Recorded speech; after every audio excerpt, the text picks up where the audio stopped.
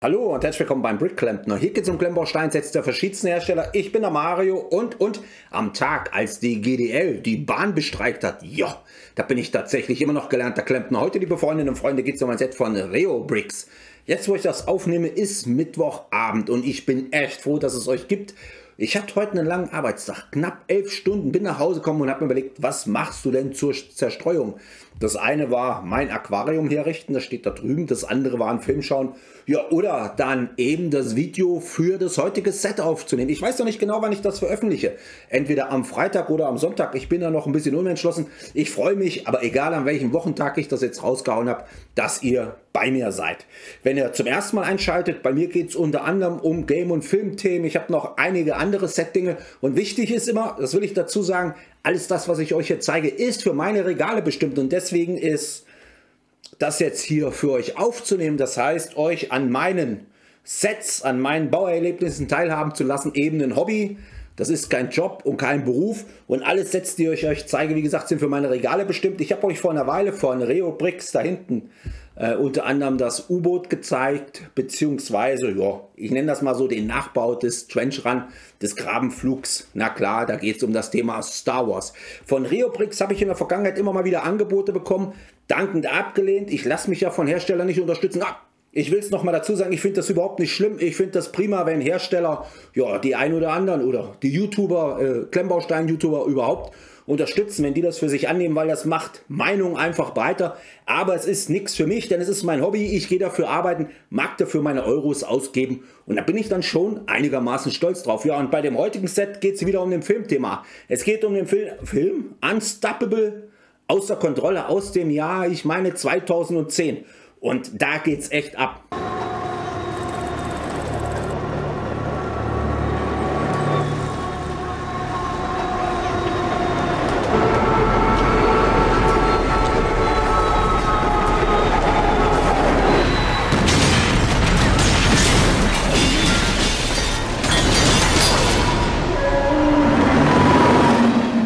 Ja, bei dem Ausschnitt, da ist ein Zug, der rast durch die Gegend und in dem Film Hauptrolle Denzel Washington und Chris Pine, wenn ich das jetzt nicht durcheinander bringe.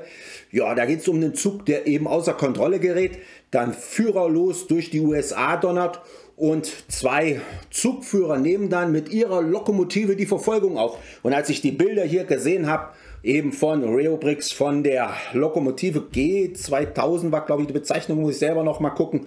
Das hat mich an den Film erinnert und weil der Film mir so viel Spaß gemacht hat, ich habe den einige Male gesehen, war für mich klar, weil ich auch Display-Modelle liebe. Jetzt habe ich mit Loks weniger am Hut, aber das ist ja für mich hier, sage ich auch gleich was zu, ein Display-Modell. Ja, da war für mich klar, ich werde mir das Set besorgen.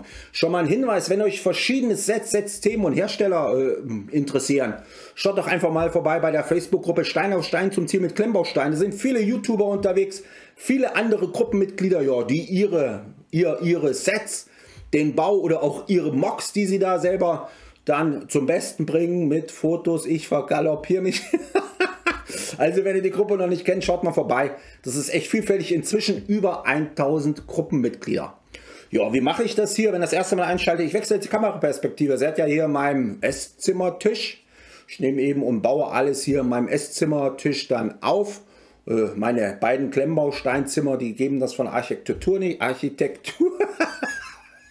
ja, hier, das ist auch so ein Ding ich verplapper mich mal gern. Und während die einen oder anderen dann Schnitte einbauen, nochmal neu ansetzen, gibt es das bei mir nicht. Ihr müsst mir ein Gebrabbel an der Stelle einfach ertragen. Es sei denn, ihr habt keinen Bock drauf, dann springt doch einfach nach vorne, zeige ich euch das Bauergebnis. Also, ein paar Bauabschnitte jetzt, das Bauergebnis. Ja, und da sehen wir uns zu meinem gebrabbelten Fazit wieder. Also, bis gleich. Jo, Brix, ich hoffe, ich konnte euch eben schon ein ordentliches Bauergebnis zeigen, zumindest bei meiner Einleitung und Begrüßung.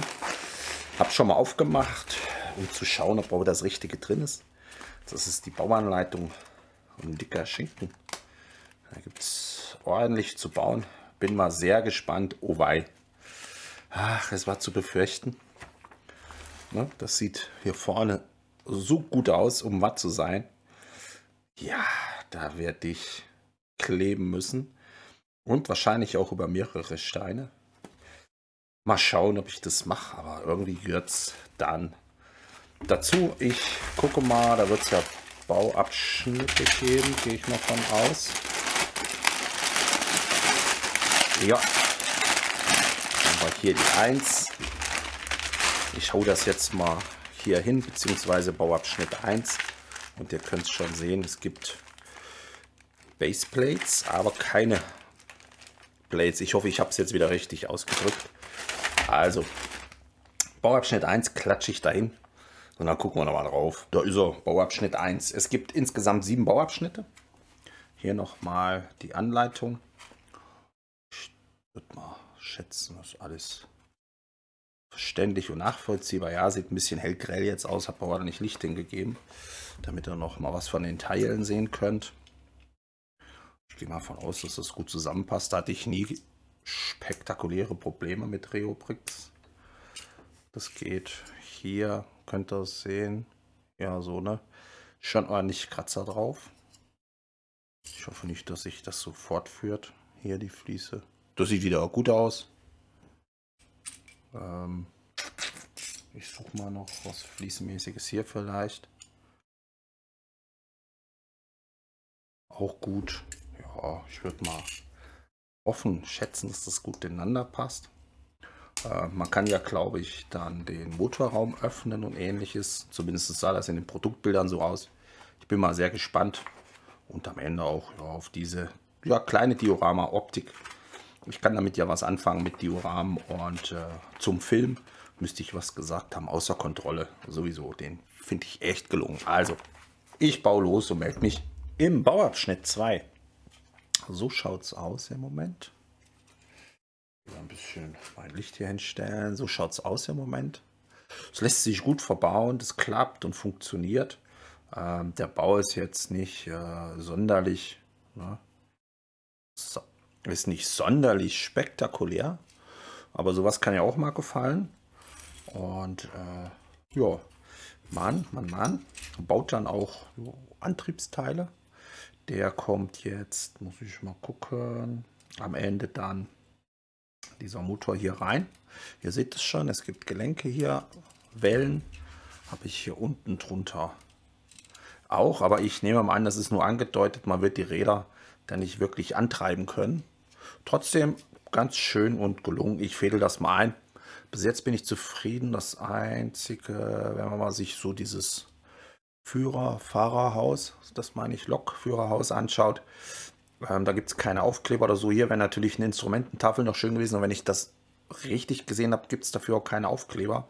Und am Ende wird es wohl so sein, dass bei Reoprix die Aufkleber zum Schluss angebracht werden. Mal gucken, ob ich dann wieder was abnehmen muss. Naja, schauen wir mal. Aber ich bin total zufrieden. Ich habe den Bauabschnitt 4 abgeschlossen. Äh, nebenbei läuft jetzt ähm, der Thomas, der Steinemeister, mit seinem Livestream. Moment, mal gucken, ob ich das mit dem Ton hier hinkriege. Dann könnt ihr das mal kurz hören. Die darf man, die darf man angucken und ich. Weil sonst liegen sie auf der Seite. Tobi Powers äh, er, erklärt gerade, was er in der Stadt wie gemacht hat. So, machen wir mal den Ton wieder weg. So, es soll ja um den Bauabschnitt 4 gehen. Also ihr seht, äh, da gibt es einiges zu entdecken. Der, oh, ich nenne das mal Antriebsraum, der ist gestaltet. Und das hier unten mit dem Fahrwerk, huch, da fällt mir jetzt eins ab. Festnoppen, das mit dem Fahrwerk, das ist echt herausfordernd. Ich hoffe, ihr könnt das sehen. Sehr detailverliebt, aber alles einzelne Bauteile. Und äh, das ist dann schon fummelig, auch ähm, hier dann die Reling aufzubringen. Das wiegt sich ein bisschen. Mal gucken, ob sich das dann äh, noch mal weiter gerade zieht, desto länger das hier befestigt ist. Ansonsten ist das stabil. Ich hätte mit dem Fahrwerk befürchtet, dass das ein bisschen anders ist. Wenn es denn genoppt und geklemmt ist, dann passt es ganz gut. Ich habe hier nochmal ja, die Fahrerkabine. Die sind dann identisch vorne und hinten. Das macht keinen Unterschied. Ich nehme die nur runter. Es wird ja hier einfach locker aufgenoppt. Das hält und funktioniert auch. Ich nehme die nur runter, weil das beim Bauen immer mal im Weg ist, beziehungsweise sich dann gern lockert. Und ich habe die jetzt runter gemacht und an die Seite gelegt. So macht das ja mehr Sinn. Und hier Bauabschnitt 5 da wird die andere Seite komplettiert. So viel ist dann vorgebaut. Also Da passiert einiges, aber man kann auch das Set dann gut an die Seite legen, also hier auf die Seite packen und dann anklemmen. Das funktioniert. Also ich habe ich hab Freude. Ja, die Lok ist fertig. Da haben wir hier die Einhausung. Können wir mal zusammen draufsetzen jetzt. Einmal. Dann das. Nehmen wir erstmal das hier, das dahin.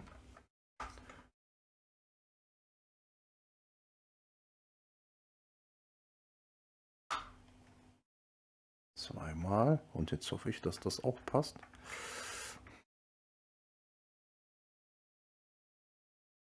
Man muss ein bisschen auseinander schieben. Ja, zack. Und fertig ist die Lok. Jetzt bauen wir ja, den Display, Display-Ständer Disney. Und dann können wir uns alles angucken. Ich melde mich aber noch mal wegen dem Displayständer. da hinten steht er, fertig. Oh, muss noch beklebt werden. Das wird ja... Naja, schauen wir mal. Hier die Grundplatte.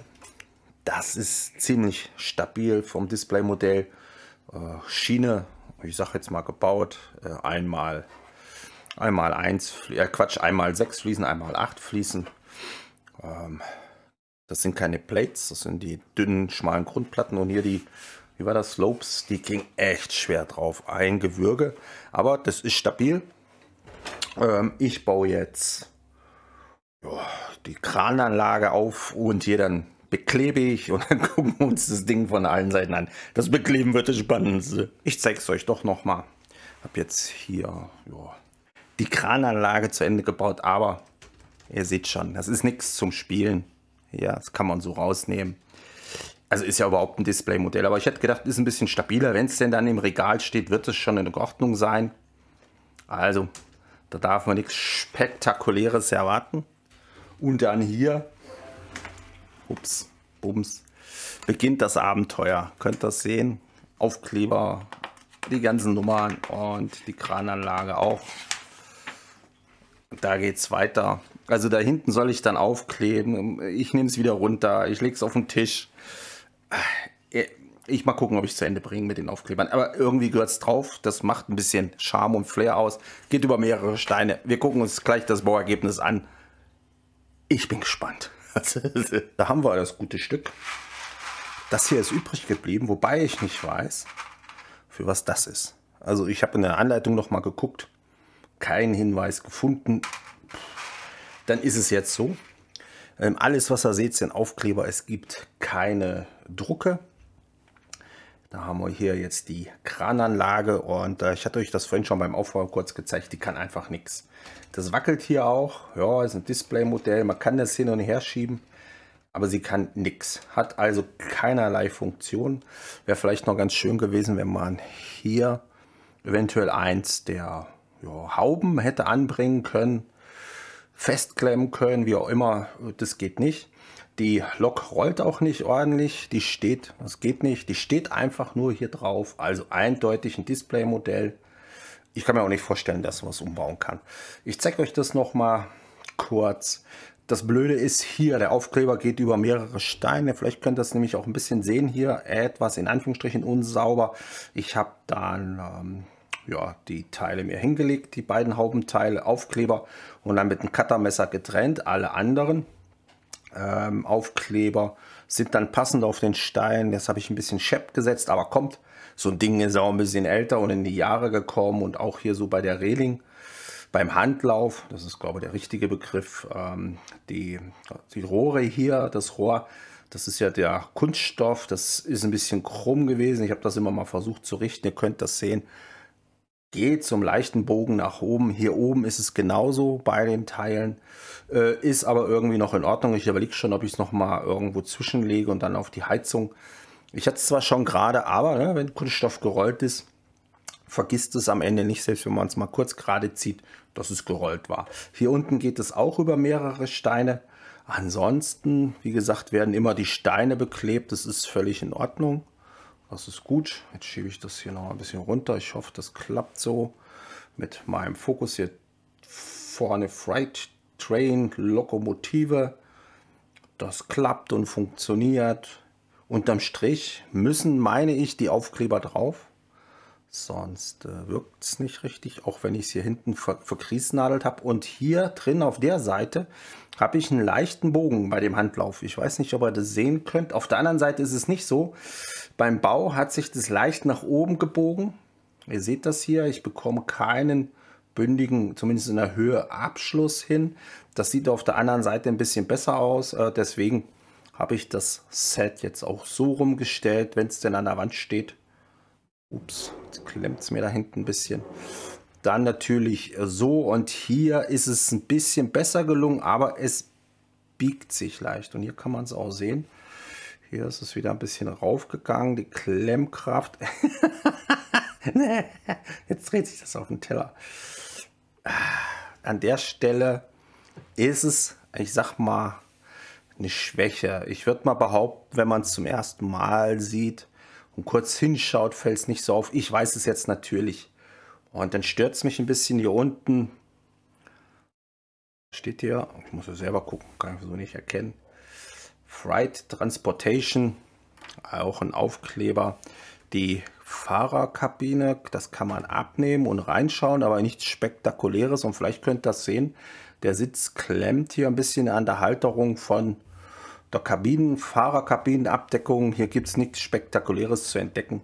Ich hätte jetzt gesagt, das muss man auch jetzt nicht unbedingt unbedingt abnehmen. Spannender ist es vielleicht, jetzt muss ich mal gucken, ob ich das hinkriege, wenn man hier natürlich dann so ein Element abnimmt. Ja, das ist vernoppt. So. Und da sieht man ein bisschen was vom Antrieb. Das hatte ich euch ja schon äh, gezeigt. Und das kann man vielleicht dann durchaus auch einfach so stehen lassen, wenn man möchte. Gibt es ein bisschen was zu entdecken. Die anderen nehme ich jetzt nicht ab. Das funktioniert im Großen und Ganzen auch. Ich werde es aber so machen, wieder mal drauf. Also man kann das auch gut aufdrücken, ihr seht das, das ist kein Problem, dass ich mir das gute Stück dann so hinstelle.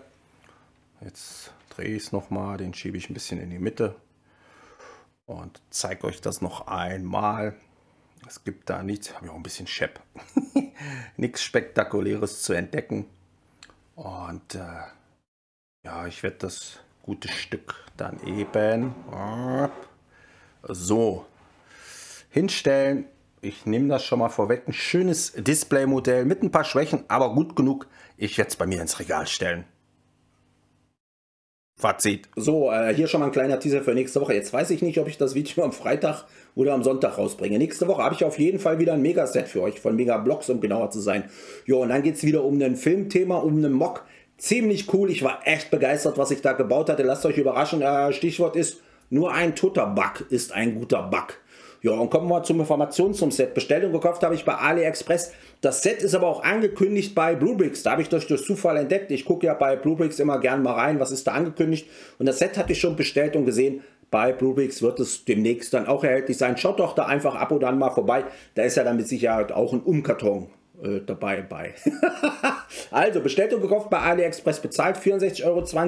Das Set besteht aus 1980 Teilen. Die Setnummer ist die 66021, wie gesagt von Reobrix. Mit dabei war eine Bauanleitung in Papierform. Gut verständlich, gut nachvollziehbar.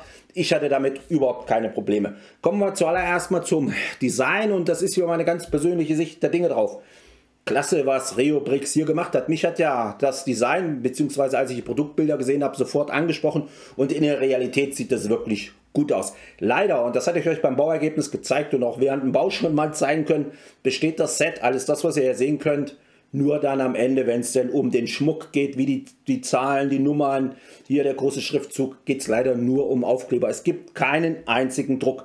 Die Aufkleber gehören aber auch drauf, wenn ich mir das im Nachhinein angucke, das macht dann doch einiges vom Flair aus. Beim Design hat man, wenn es um die Aufkleber geht, an einer Stelle geschwächelt, wenn schon Aufkleber dabei sind. Das ist einfach die Tatsache, dass es Aufkleber gibt, die gehen über mehrere Steine. Und ich hatte euch das gezeigt, hier macht das zum Beispiel keinen Sinn. Also beim Design finde ich das sehr gut, dass man ja an den Innenraum gedacht hat den Motor, den Maschinenraum sich angucken kann, ähnlich gut wie bei dem Atom-U-Boot da hinten, das ist ja auch von Rio Bricks, das hatte ich euch auch gezeigt, nur dass dann eben die Aufkleber über mehrere Steine gehen, an der einen oder anderen Stelle ist eben blöd. Und wenn ich dann hier den Mittelteil abnehmen will und habe den Aufkleber, der komplett einmal rüber geht, ist es einfach schwierig. Ich habe das dann mit dem Cuttermesser getrennt, weil an anderer Stelle orientiert man sich dann schon an der Steingröße, da war das nicht nötig. Nur hier an der Stelle musste ich dann einmal, ich sag das mal so ein bisschen nacharbeiten. Was mir gut gefällt beim Design, ich habe es beim Bauergebnis gezeigt, ihr habt es ja eben ein bisschen gesehen, wenn das Bauergebnis euch nicht angeguckt habt, ist einfach die Tatsache, dass der Innenraum zu sehen ist. Es gibt einen Führerstand vorne, hinten, wobei bei der Lok das völlig egal ist, was vorne und hinten ist, spielt keine Rolle. Ich finde, es ist schön gestaltet. Wobei auch hier ein bisschen Flair schöner gewesen wäre, dass man die Armaturen hätte sehen können. Da sind einfach nackte Steine drin. Ist aber okay, weil ganz ehrlich, ich werde nicht häufig hergehen und dann hier die Fahrerkabinen runternehmen. Wahrscheinlich lasse ich den Mittelteil weg. Ich überlege mir das noch mal ein bisschen. Beim Design, was mir gut gefällt, das ist dann das Fahrwerk. Ich habe euch das auch ein bisschen beim Aufbau gezeigt. Das ist echt gelungen und detailreich. Ich hatte auch ein bisschen Schwierigkeiten oder Sorge, so rum ist es ja richtig, dass sich das nicht ordentlich bauen lässt, dass es zu kleinteilig ist. Jetzt mag ich Kleinteiligkeit, aber die Klemmkraft ist so gut, dass das easy peasy ineinander geht. Ich war begeistert. Da bin ich ein bisschen bei der Qualität der Steine. Die sind gut, die Klemmkraft ist hoch, manchmal vielleicht ein bisschen zu hoch, aber auf keinen Fall zu niedrig. Und ich sage mal, ein bisschen mehr ist mir lieber wie zu wenig. Und hier bin ich mit der Qualität echt zufrieden. Die Steine sind an der einen oder anderen Stelle ein bisschen matt. Das ist aber auch Reo Bricks typisch. Das hatte ich auch bei den anderen Sets so. Das einzige, wo es ein bisschen schwächelt mit dem Klemmen oder ähnlichem, das ist dann hier beim Handlauf. Ich hatte euch das auch beim Bauergebnis gezeigt. Das ist jetzt weniger, ich sag mal, das Rohr hier oben.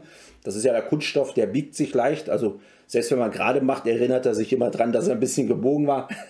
Sondern es geht dann eher hier unten, wo der Handlauf angebracht ist. Ja, der biegt sich leicht nach oben und dadurch, dass es nicht überbauen wird, überbauen, überbaut wird, zieht es sich auch nicht gerade. Das geht, weil von der Seite ist es ansehnlicher. Ich habe euch das auch beim Bauergebnis gezeigt, als von der anderen Seite. Ganz hübsch, das will ich noch zum Design sagen, ist diese Krananlage und damit ist es ein schönes Displaymodell für mich.